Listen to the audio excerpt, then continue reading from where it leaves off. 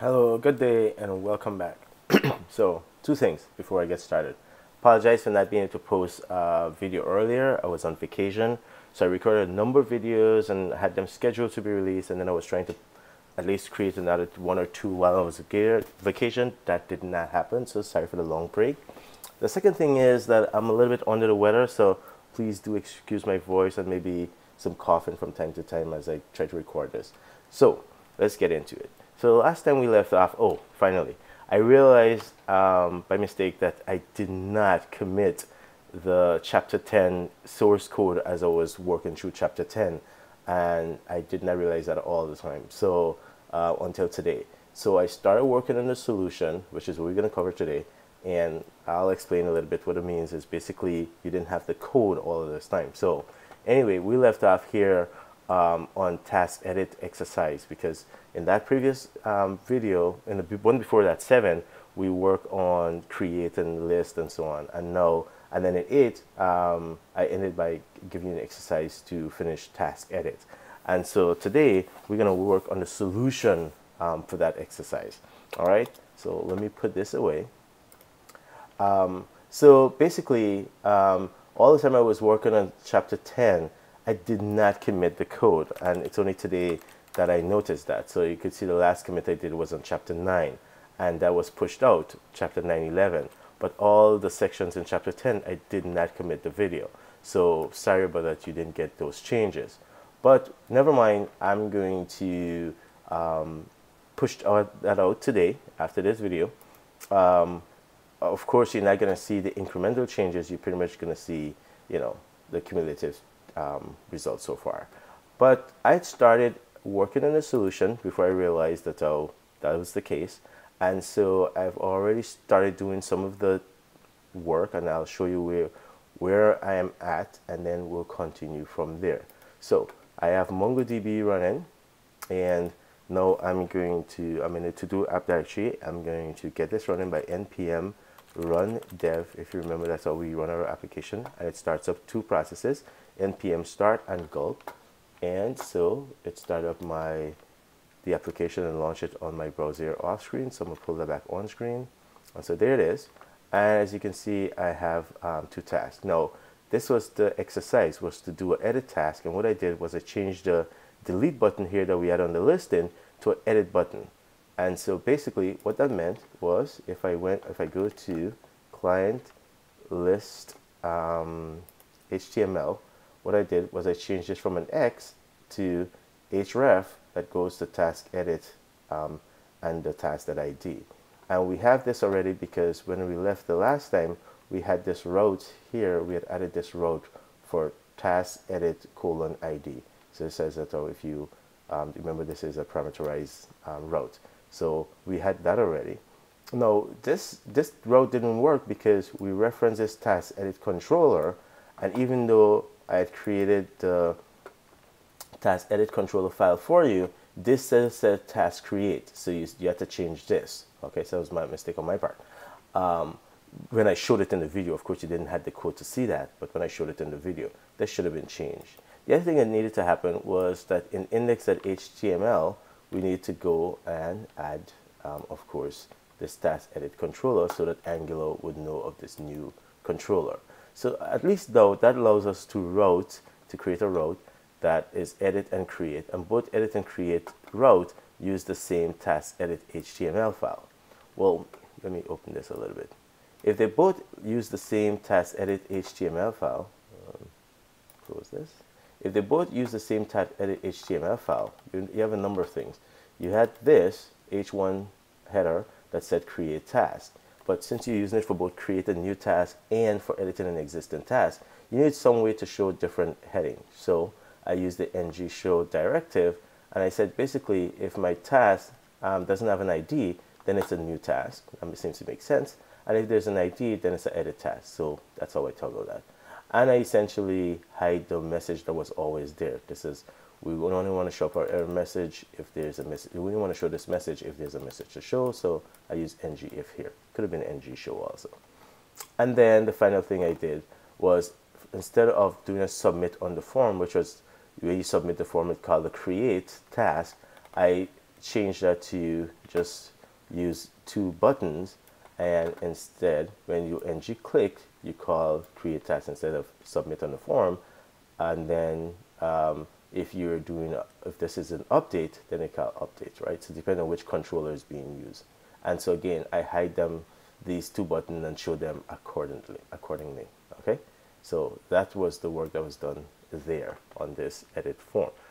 Um, here I didn't have to really do anything here because we're not calling delete anymore but this is going to be moved to the edit controller because we want the user to be able to delete um, from the edit controller and not from the list controller. So we're going to take that and we're going to move it over here. And I'm going to worry about calling that later. I'm not going to worry about calling that now. All right. So that was one thing. So okay. So let's continue and look at what we have here. So I was doing some debugging. So when I um, my controller here when I do run so if I click here and I go to the edit task as you can see this is showing up exactly as I like this it to show up um, we're getting the parameters uh, route parameters at ID and we're saying call task DAO on the client side that get task ID so if you remember and then once I get it I can assign it to myself the task to have it show up on the UI right? Now I can take out all these but these were just for debugging. And so essentially what happens is um, let's go look at my task DAO so get task by ID I had to create this too. This is one of the things that um, you have to create. Um, I didn't put it down as a to-do but we had no way of getting a particular task from the backend to load it. We can get all task which we we have already get all tasks. We had create a task and we had delete a task but we didn't have get a spe specific task. And so if you remember I need that from right here. I'm going to try and get a specific task and then save it and then if there's an er error of course I show it. So how do I get a specific task? My DAO is going to do that for me. And so uh, getting a specific task look a lot like getting all tasks. And you can get a hint from that from the task resource. And you can see here um, get is arrays true? This is how you get a number of tasks.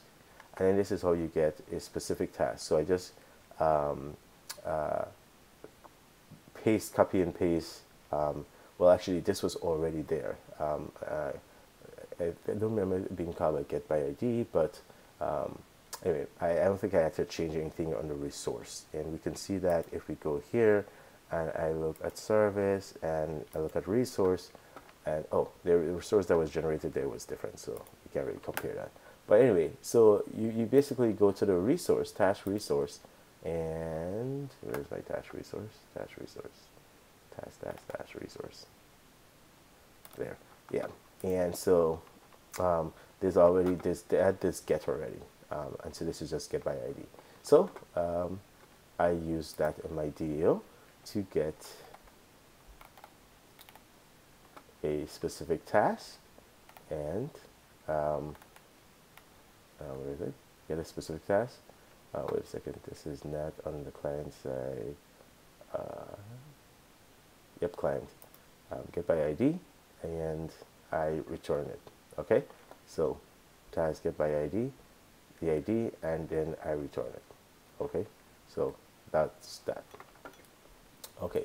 So once that um, I had that on my task DAO um, of course on my controller um, not this controller but edit controller right, there we go my edit controller I can get that from the resource and um, I populate my task and so my task and that shows up on the front end okay so you can see that task DAO the prototype get ID is a function that check and see if it does a valid task, whatever.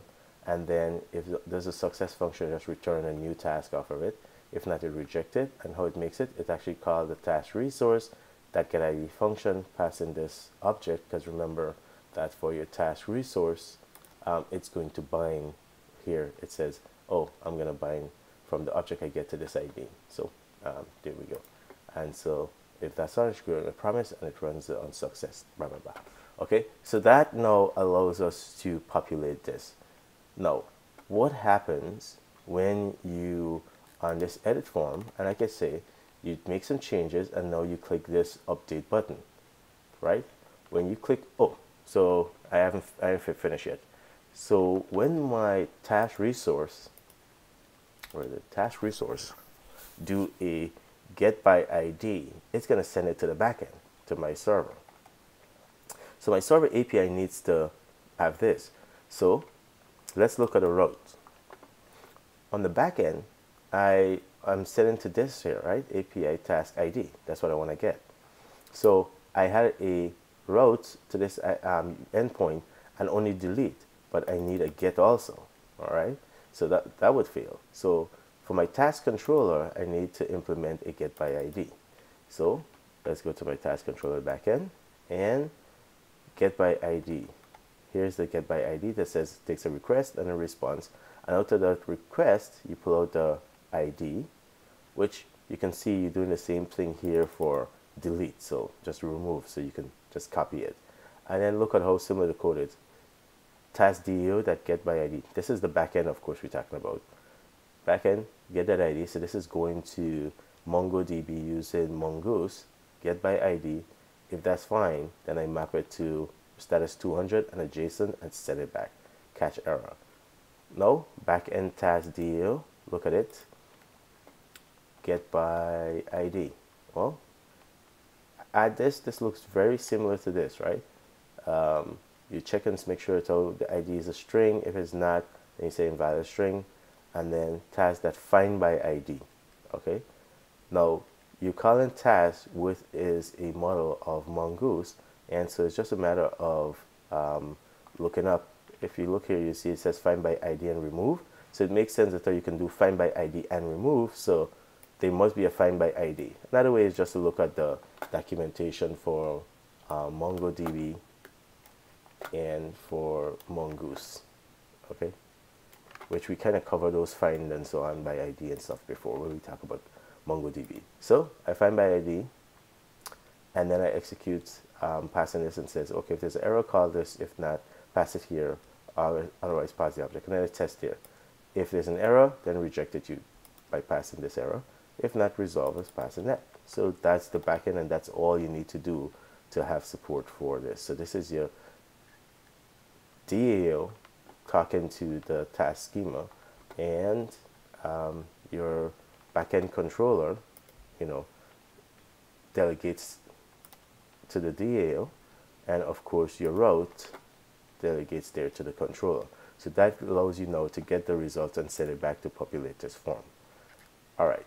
So now let's go to the edit template. So you click update after you have this now, you make the changes. So let's say I have changed my mind, too much to do, and then this is not done. And I click update. And you can see um, it is updated. I've changed my mind. And if I go to edit, you can see the body's changed and so there it is. Okay, so how do I get that to work? Well, when you click update, this goes to your edit controller, right? Uh, so we can close this for now. It goes to your edit controller. And so your edit controller needs to update task. And your update task is going to say what? I want to take this task, pass it to my DAO and tell it to update this task. And if that's successful, I'm going to get back a task. But I'm going to ignore the fact that I get back the task. And what I just want to do is just go back to the listing. So I have done my update, so that's successful, go to the listing. And of course, if I wasn't successfully able to update it, I'm going to put self that message. That self that message, remember, is what we're saying here, that if we get an error message, then we show it. Of course, if we don't have one, then we have nothing to show. So um, that's my update. So how is task DAO that update implemented? Well, we go to the DAO on the client side, and we already looked at to get by ID. So this is update. This was one of your first to do. So again, I copy pretty much the create one and make sure that we have a valid thing. This is our success function, error function. Copy it blatantly from up here. Just like, just take this create code here, copy it, and then paste it as your update code. And then now return task resource, create a new task resource and say call update and it promised then then success and so on. very much like this the create here, except I'm, I'm not doing insert. How do I know that oh, I should call update instead? Well, I go look at my resource and I see that oh, when you do insert, it's post, and then a update is put. And we learned from when we did other HTTP stuff back in whichever video about how to do referral call, RESTful call, we want to do a put. So that's the one we're going to use. And so uh, that's all there is to that. And that sends my request to the backend. Now on the backend, let's close this, let's close that. Um, let's close, we're to leave that, close this for now. On the backend, so that's actually, we click update, that goes to the backend. On the backend, I need to support put on this endpoint. Remember, we're not posting to it, the specific endpoint. We could have by changing the route associated that we use here in the resource. We could have said that oh, the URL for put, we could override the URL and say that oh, it should be slash API task ID, so we post that specific ID. But we didn't, so it's going to post uh, just this guy. That's how it's, it's going to work. And so when I do a post, no, a put, sorry, uh, my backend needs to support that on this endpoint. So that's why I say I added this put to here. It doesn't matter if you put it first or last, but I stuck it in between. So there you go. And this sends it to the backend. Of course, I need, um, you know, to implement this. So this is the backend, sorry. So I need to implement this task that update. So if I go to server task controller and I do look at my um, update method on my controller, it requests response. It takes the entire body. Again, looks very much like the create. I actually copied it. And task DAO create, well, task DAO update, same thing. Passing in that object. If it's successful, blah, blah, blah, send it back if not, right? Look exactly, create an update looks the same. We discussed this. One uses post, the other one uses update, but at the end, it kind of looks the same. So now, how does our DAO handle the two things? Because they're slightly different. This is how we get it from the client to the backend. One is post and one is put. But now that we have both have the, the same object, the object that we want to update, how do we update that in the database? How do we tell MongoDB that I want to create something instead of I want to update something?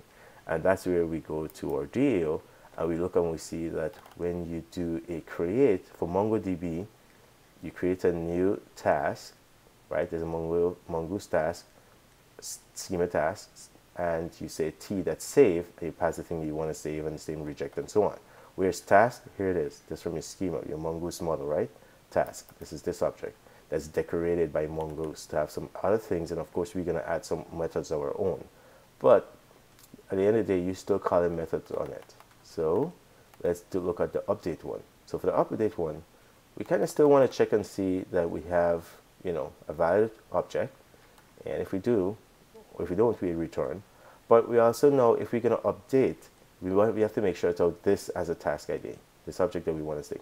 So if it doesn't have a task ID, we're going to reject. Here, we could have checked and see that if somebody's trying to save something that has a task ID, we should reject it also. So if you have already have a task ID, you should reject it. If you don't have a task ID, you should reject it here when you do an update because you have to know what to update. And so for the query, I need to find the thing that I want to update. So that's why I create this object, which I'm calling my query. And then the, when I go to update the thing, I don't want to include the task ID in it because I don't want that to change. So I'll let Mongoose manage that and MongoDB. So I delete the task ID from this object that was passed in, and because I already have saved in a query. And so then I do model that update one, only one thing I want to update, and find it. This is my query. I got to find my number of other criterias, right? The name and stuff, blah, blah, whatever, date and so on, but I might find multiple things. But here, I want to make sure so there's only one thing I want to update. And then we talk about some of these methods that, um, how you change things when we were fooling around with MongoDB. So I'm not going to spend too much time on that. But basically, I say I want to set these properties in this object. And so remember, this object now is void of the ID. So that wouldn't be overridden. So I tell Mongoose I want to, MongoDB, I want to update this one object that you found and matching this criteria. And then of course execute that. And if there's an error the updated stuff I resolve. And that's all my backend takes care of doing the update that you're seeing happen here when I click update. And I can go back and I can see that how it's done. Okay? So that's the thing. Now, the next thing I want to do, this is not finished yet. So once I'm at edit, how do I, you know, I need to delete because now I put, I removed, I put delete here. And it'd be nice to, you know, have something that says like cancel, that just take me back to the list. So I'm gonna add a cancel button here and if I change my member edit and I'm gonna add a delete button to delete this task. So let me go do that now. Um, so those are the changes I had to make to get to what I have working so far. So how do we add the rest? So again, we need a cancel button here. So let's go back to our edit, HTML, and template, and we'll just put another button. And of course, we want to show it if, um, but what might make this easier is if we just do this. We just, um, since we have a couple of buttons we want to show here, um, we just do this. We do um, a div and um, and I'm going to bring this down, close this div off here, and then I'll move this ng show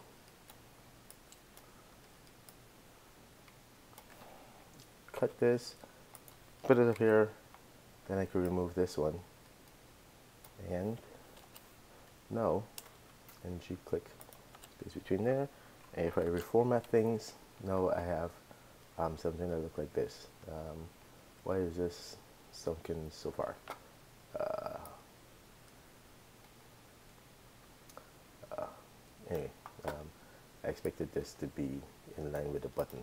But anyway, I don't know why it invented it so far.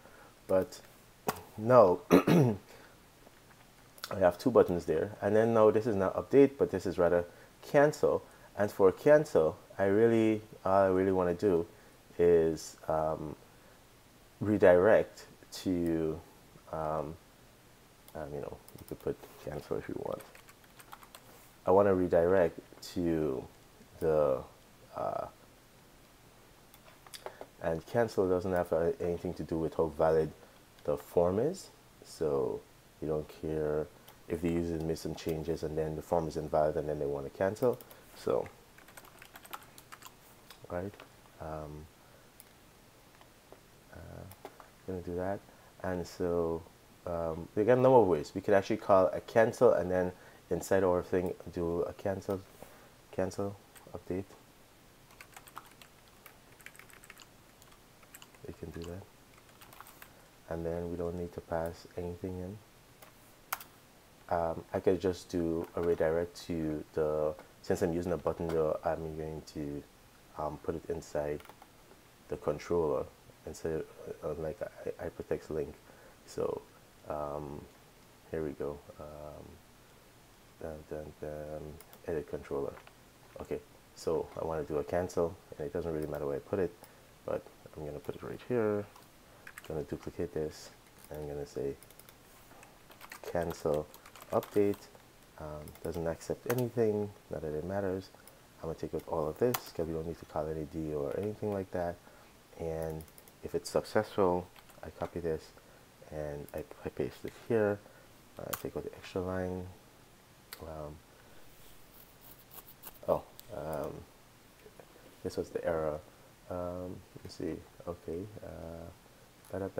Okay so um, not like this would matter because if said I set a message and then force I rewrote to this path setting a message here wouldn't matter. So yeah we already changed path. So anyway so there we go. I'm gonna reformat this and so that should give me my cancel. So for some reason this one to reload. So let's see uh, proceed. And it's not loading my application. Um, let's see. Take that out run. All right there we go. All right so if I go to edit and I click cancel now I should go back right? And so that's working fine. Um, I will need these look equally um, look equal in terms of importance. And so I'll take that out. And so for here I'll take out the submit to do button I don't want to have that formatting. Um, let me see if I hit save on that, what does that make that look like? Um, not no big change. I still need to be a big button. Um, I just don't need to be a big success button. All right, and so click save, and so it should turn it like it's like gray there. Okay, good. And then um, put a big red button over here, like a danger button. And so it's to look something like this and it's to be delete and it's going to be instead of success it's going to be btn that um, danger I think it is right? And it's usually red. Yep there we go. And so now all I need to do and this is the delete button not that it matters I'm not using the ID for any kind of teaming um, and then this is uh, is delete task delete task and here I can pass ctrl task that underscore id and um, if you remember from the controller edit controller we already have a delete task that takes an ID and I should take care of things. I'm not going to worry about prompting. We did that before where you hit the delete button and then you get a prompt and then if you prompt the user are you sure you want to delete? And then they say yes that you can have that sort of thing. I just kind of want to move on because um, those are things we covered before. We did it in our previous to do before we use a, a generator full stack generator. So you can certainly put those things in I just kind of want to show you how we modify the generator to do some of the things. Okay so um, this would certainly delete the task. And of course, if we successfully delete the task, this had said refresh because it was on the listing screen where you have to refresh the screen. But here we're not on the listing screen, so we actually want to return to the list. And so, and then of course, if you can't delete it, um, you know, we could put an error message so the user can see why. So we, we delete and return, and that's done. And we edit and we delete, and now we have nothing to do.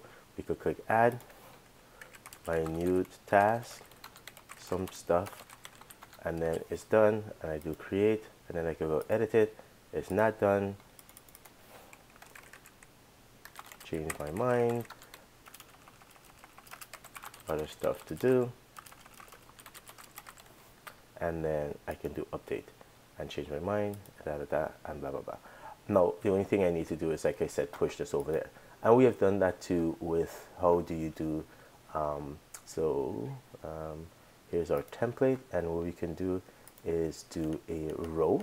And if you remember we do class row in um, in when we're using um, bootstrap so we can say uh, you know class class equals class equals row and then um, we can do uh, put this in another div um, which is the column, um, you know, using the columns to, to space it out and lay it out. And so let me look and see if we have some examples of that so I can kind of cheat. And look like we don't have any in our task template or our HTML template. Do we have anything with uh, row and so on? Um, nope, not finding anything. Um, so our to-do stuff doesn't have any either so um, we copied that stuff so yeah so uh, let's see. So this is should be all done now. So here's how we cheat um, so I can't remember. See column dash 9 remember each row it has 12 cells.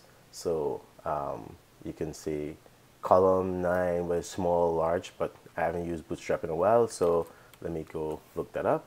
So um, CSS let's look at that. And grid system.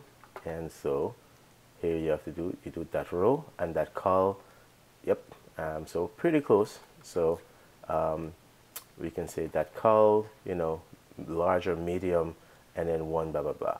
There's also we want to be able to shift things to the left or the right. So um, we can do that too. So let's see one that allows us to do it so column four and then um, let's see offset 4 so let's try something like that. So column md4 or something and column md4 and then column offset. Okay let's see. So it has to add up to 12 um, and um, so we have class row blah blah blah and there we go. So let's do just that. So we have row already and then if we put um, div class um, equals column dash let's do large screen LG dash. For those two buttons um, I think we need like three for example. We'll see what fits. And then I'll close this um, and then I'll put uh, a div around this and then slash div and then I'll do another div I say class um, and then I'll paste what I copied just now. And this doesn't need to be four this is you know probably two or something and then offset two um, we'll see. Um, let's see what it looks like there and then um, I'm going to do slash div and then if I reformat this that's what we should have and so now I go back and look at my to do oh and that does not look like anything like what I want so let's see where there's a problem. Um, ng show click da da da. So uh, there's obviously there.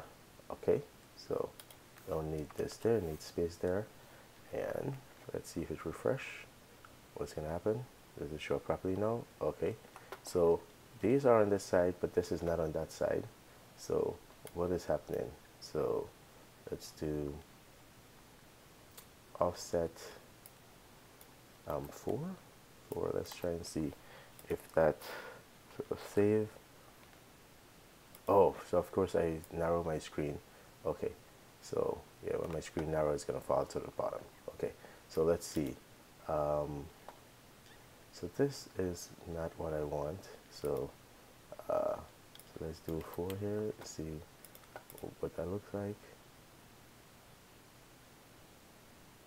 okay so that pushes that out a little bit but let me go back and see bootstrap. When I want it to be offset like that how do I do it? So row um, I want something on the left and on the right um, the middle to be 4 hmm. That's exactly what I kind of want. Um, of course I want to float my stuff all the way to the corner but um, let's see there. Um, let's see. Um, let's do this. So if, if I do one so say row four and then one and then let's see what that look like. Nothing changed. And then make this like um, so that's eight to make this seven. So let's see if that's solves anything. Huh. So I'm, I definitely have to play with this to see why I'm not getting it to do the offset. Um, why it's not doing the offset and pushing this all the way over to the right hand side. Yeah, that's not working. So, but anyway, so you can definitely go um, try and look at that and see why that's not and so you can see a smaller number should make this pretty much smaller. And I don't I don't see why it's not doing it. Um, so this one is column md3 okay so let's do ML, um, md I don't think the size here oh there's md and there's lg okay so let me see if that was what was causing an issue LG, um, LG. So let's see. Um, oh yeah, so that, that's definitely not what was the issue. So um, I'm not sure why it's not pushing it all the way over. Um, I still think the column size is the width of this is this size instead of the full size. So yeah, I'm not exactly sure. Um, what that is. So we're in a container, um, let me see, so div there, um, container, um, let me see, footer container, hmm. uh, I wonder if this has anything to do with it. So let me take this out and see. So some of the, the, the yeah, okay, so I like those rounded button anyway, so uh, yeah, I'm not sure why. Um, let me pull this out of the form. It shouldn't shouldn't be. No, I'm kind of wanting to get this address now. So let me see this here. Uh, coordinate that F format, and let's see. Yep, still, yep, still not doing it. So anyway, so you could play with that to get that to push over all the way. If I resolve it, I'll tell you what the problem is. But it certainly looked like um, it thinks that the row is just here. But at least I pushed it a little bit away. And just either it should be centered or should be centered far over. So that takes care of that. Um, the other thing I would say is you probably want to add a cancel button here. So if I want to cancel creating a task, I can do that too. And so that is fairly easy. We know to do that now with the edit form. Um, you have a cancel button here. You could copy it go to oh well we want that cancel to show up regardless of if you're doing um, um, things so we can do the same thing here with a div. Um, I can do div um, div and then I put this create button in there and then also I want a cancel button in there. Uh, reformat um, so I want a cancel button and of course I want ng show to be applied to this div paste. And let's save it. And so now um, there is a cancel button of course it's not going to work. And so what I need is for my control here I need this cancel function copy this put it on my create function. Anyway here is fine. And I reformat. And there you go. All right and so now if I do cancel it goes back to the thing. I do add task uh, edit um, thing um, now my my task is a little bit weird. It's not aligned with add, but those are cosmetic things. The functionality wise, we have what we want. We have um, edit, we have add or create, and so you know um, that certainly is working fine too. So that gives us pretty much what we had before without the security. Um, and so we can look at how do we save when we add something we save it the current logged in user or you know of course we have to put uh, create um, resources and so on for saving users. But if we can do it for tasks certainly you can see how to do it for users. And it's just a matter of when a user logged in you save it. So we did that already um, when we did it before. So this is the core functionality. If you can understand how to do this then you can add forms for users and stuff. So I'm not going to rebuild that part, part, part of it what I'm going to do in the next video is show you how we can, start using Bootstrap, we can build this application using um, Material UI. And then I'll just show you how to get it converted to Material UI. And again, the same thing is going to apply where you can just, you know, modify it. All of the same things are to remain. The using to move into Material UI, UI only changes how your control look. It doesn't changes the operation and all the other JavaScript and so on that you would be using all right? So okay. So I think um, that's good enough for this video. And we pretty much have everything we need for, in terms of managing tasks. Um, you can you know to, to add users to, to this. So uh, we're not gonna go through that because we did it before. And it's just gonna make this part of the video long or this section when it's something we have already done. Um, and that's nothing specific to ng full stack since ng full stack doesn't even give you users out of the box so it's just a matter of creating a resource, getting the API for, for users and manage them the same way as we did by hand before. All right then, thanks for your time. See you in the next video when we're gonna look at just how do we pull in um, Angular material and then we are done with this entire series because we went from not knowing how to do anything to in web development to looking at how to write HTML, how to do CSS, how to do JavaScript, then how learning Angular, then learning about Bower and Yeoman and um, then using a generator and then using a specific generator and we, we developed the whole thing. We developed application by hand. Then we saw all the headache of doing that with Express and everything, and then how the generator helped us to make things faster. So we went through a number of things. So thanks for your time, your patience. If after this series you'd like to continue doing some other things with me, I'm doing a Go programming series. It's already started, so just jump over and check that out. And then soon I'll be adapting this material to put it on like Udemy is one place I want to put it, Udemy. And so I'll let you know. Um, but stay tuned if you enjoy the material. Um, take care. Thanks again for your time and your support. See you in the next video. Bye.